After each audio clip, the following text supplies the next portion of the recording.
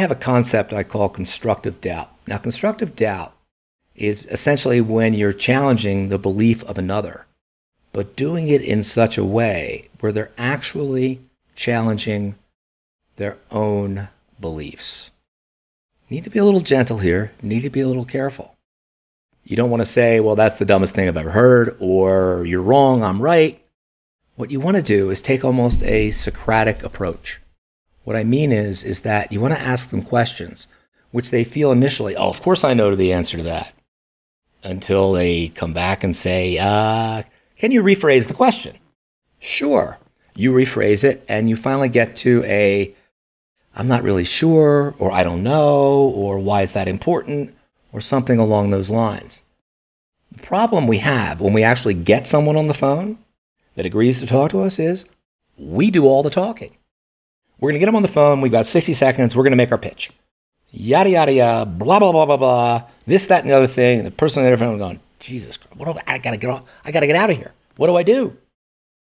And you pause, probably because you need to breathe, at which point you hear, I'm not interested. Bang. We take a slightly different approach than what we normally do. What do we do? We get on the phone, we describe our value proposition.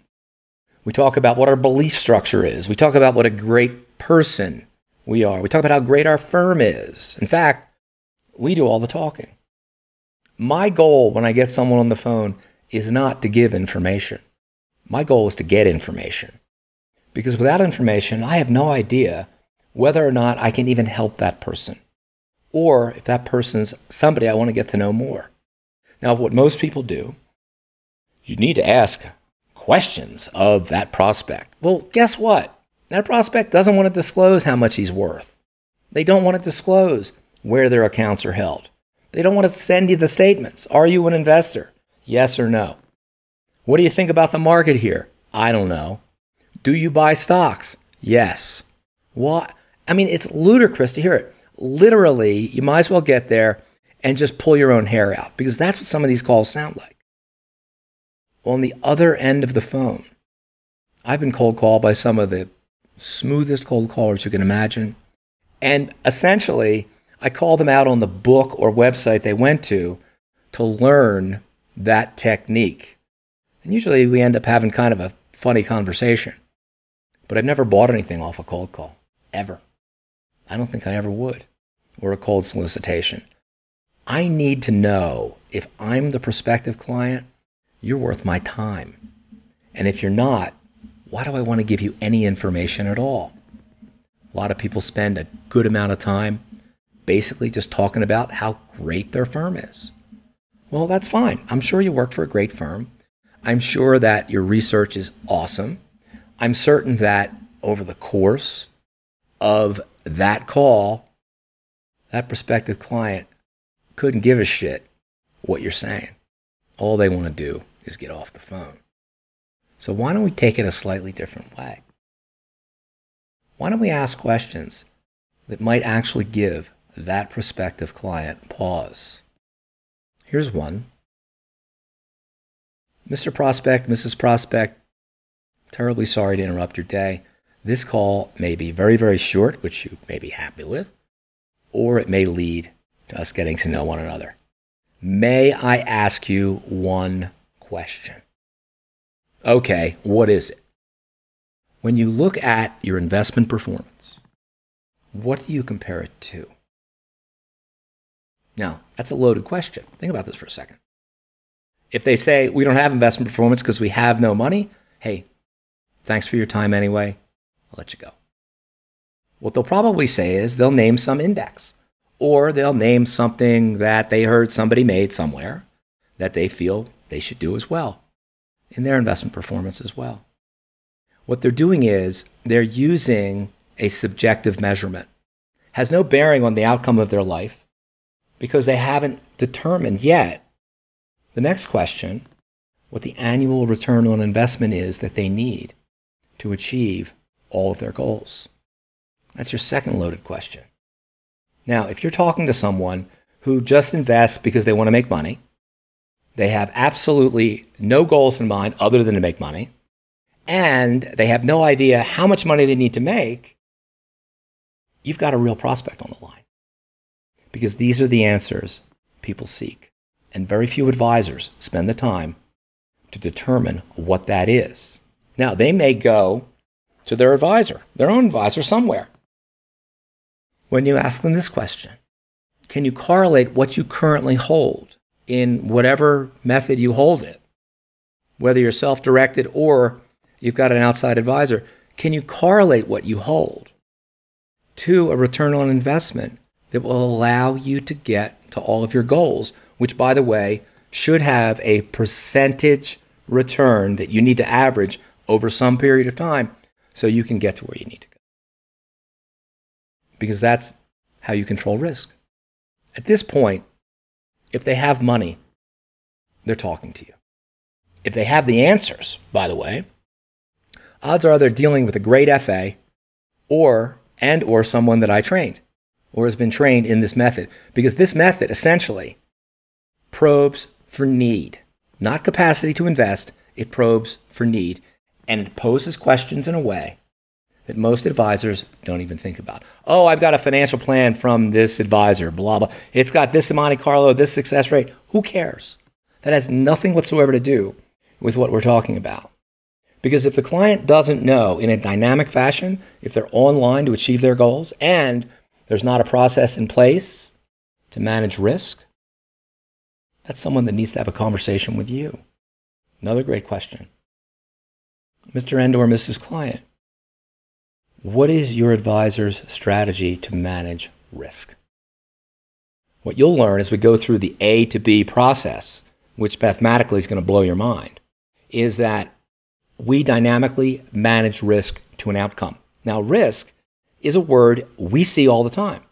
For people to open a, an account with you, what do they do? They have to select a risk profile. I'm conservative, I'm aggressive, I'm this, I'm that. By the way, those risk profiles are not written for you to help the client achieve their goals.